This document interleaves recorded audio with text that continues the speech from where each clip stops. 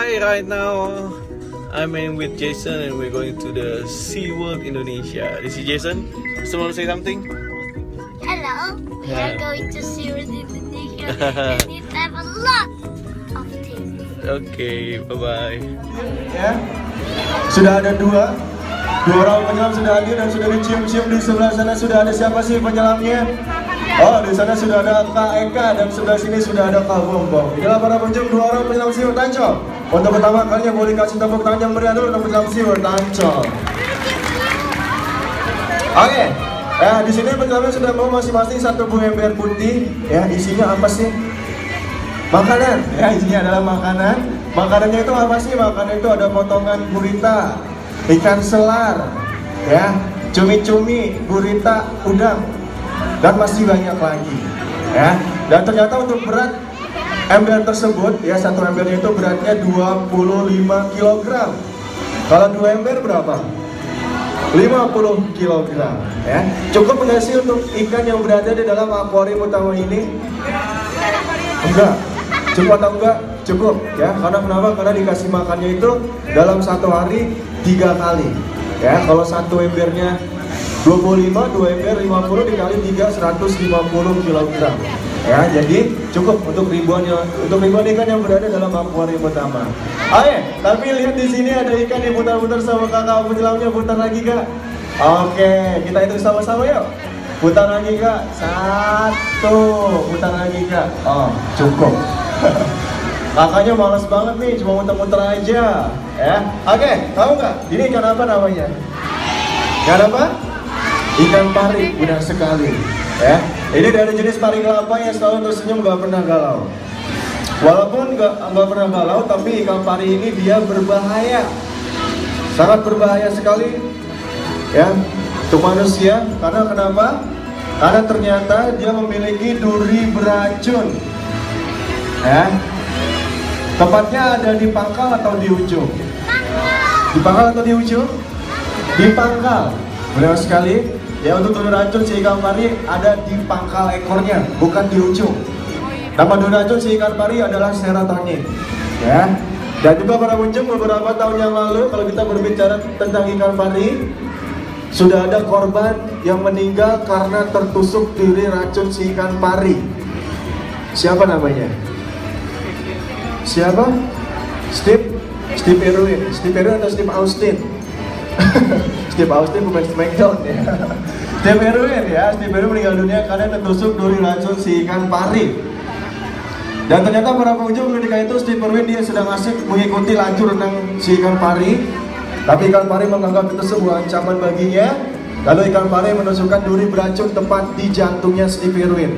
Alhasil meninggal dunia pada akhir tahun 2006 ya. Dan untuk adik-adik kecilnya suka main ke pantai hati-hati agar selalu memakai alas kakinya, sendal atau sepatu karena kenapa? Karena ternyata untuk ikan pari ini biasanya the baby stingray, ikan pari masih kecil dia suka mengubur dirinya di dalam pasir pantai. Jika tertusuk itu sangat berbahaya, bisa kram, bisa lumpuh, ya bisa mengakibatkan kematian juga jika tertusuk di bagian organ vital kita seperti jantung. Ya walaupun Ikan pari masih bayi, tapi dia sudah memiliki duri racun yang sangat mematikan. Jadi harus hati-hati. Oke, lanjut lagi tentang ikan pari.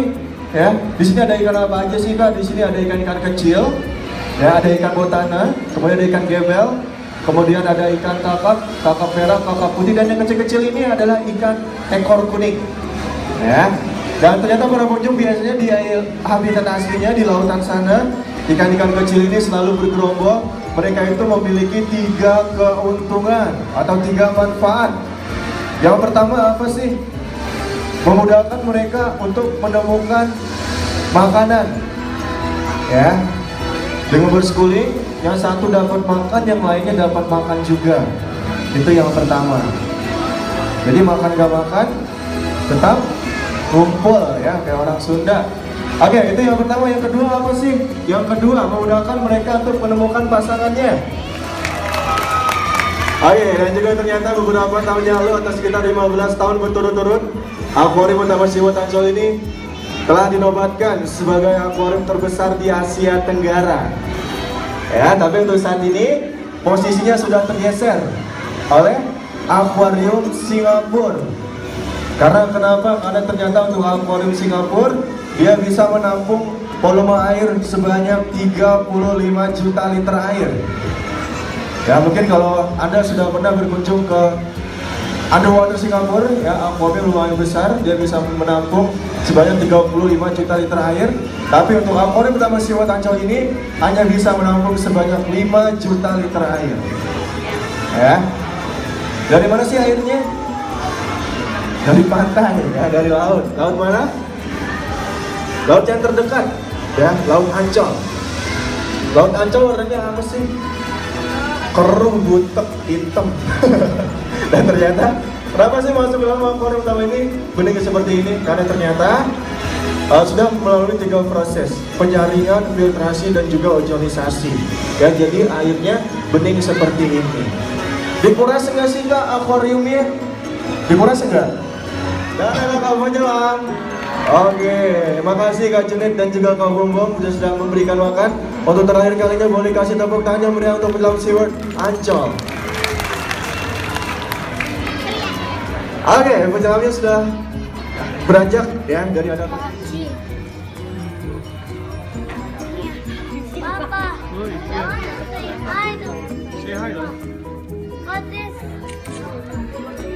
Mami lagi kasih makan ikan.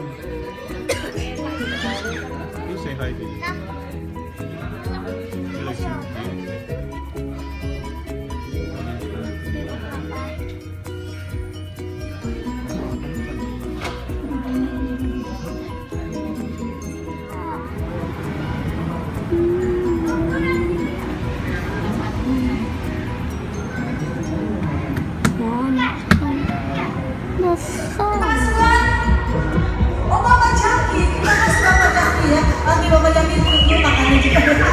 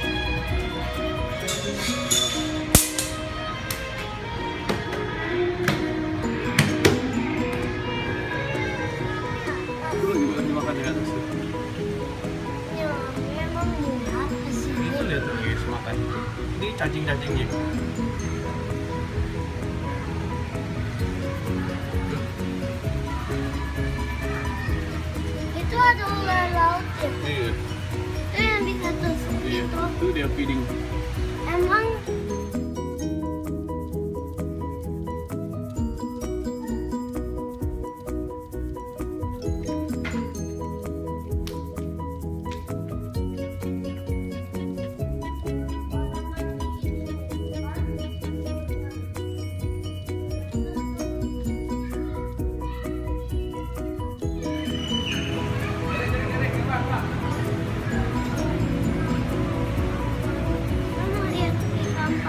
kalau ke atas nggak nggak cukup waktu itu.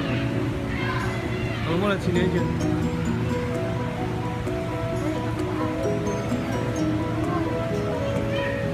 Wah, ini ikan apa ya? Banyak ya?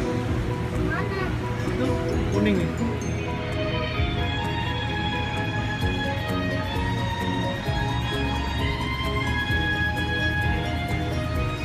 Once again, in about 10 minutes, the exhibit hall will be closed. Please be informed. Tuh.